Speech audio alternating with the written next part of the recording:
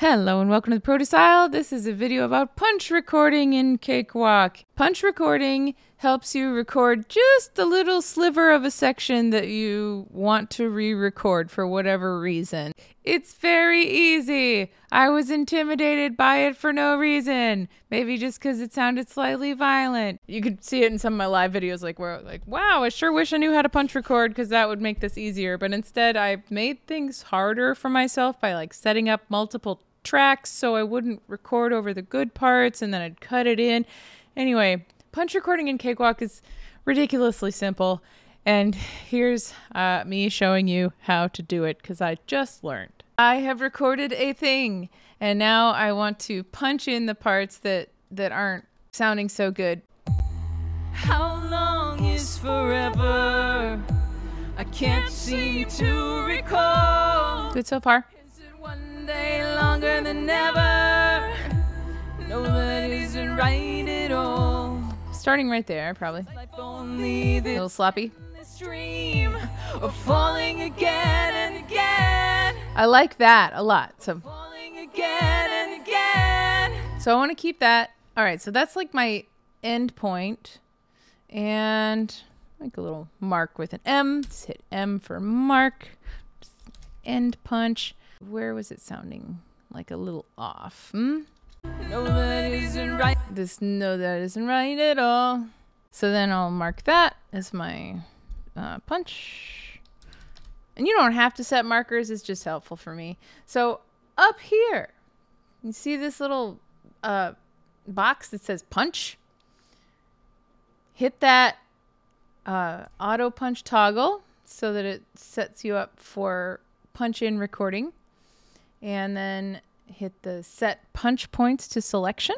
and this gives you oh right now the select my selection is this green part but that's not what we want. So this is where the markers come in. So i'm going to just set that there there and that sets my punch in. So now i can rev up i can breathe and get ready for this part that i want to punch in without recording over the other part. Arm this one for recording. I can hit record and it's not going to record over my other part. One day longer than ever. No, that isn't right at all. Is life only this endless dream? So you see how it did not record this part over that part that I liked and this part that I liked. So now I should be able to play it and it'll have the new part. No, that isn't right at all. Is life only this endless dream? So we're gonna do it again. We're gonna try it again. And it's nice that I'm not gonna be recording over that part that I like, so I just need to sing it with a little more gusto, a little more guts gutsiness. So let me do that again. One day longer than ever.